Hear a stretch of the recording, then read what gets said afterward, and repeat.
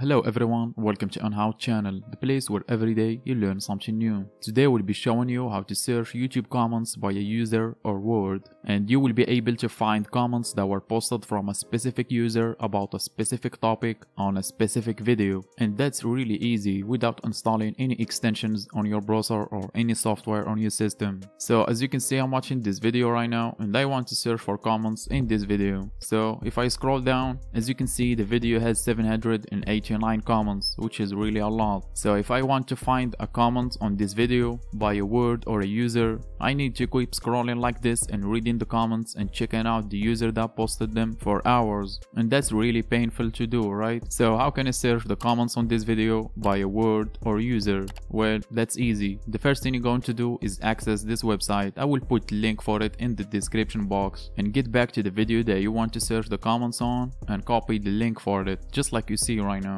and get back to the website and paste the link here. And you should see the icon for the channel and the title for the video. And below it a red button says load data and click on load data and give it a moment to load all the comments in the video. And after a couple of seconds you should see two buttons view comments and view statistics and click on view comments button. And it will show you all the comments that were posted in this video in this list right here just like you see on the screen right now so let's just make the list bigger from here just to show us more options. And you can also sort the comments by the number of likes that each comment has and also the number of replies that each comment has. So let's start by searching by a word. So to find a specific comment about a specific topic or a word. And to do that just head over to the search bar right here and type in the word that you want to search for. In this demonstration I'm going to keep it simple so I'm going to type in cool. And as you can see it highlights each comment that has the word cool on it. And you can also see the user that posted the comments on the right and now let's just get to searching for a comments by user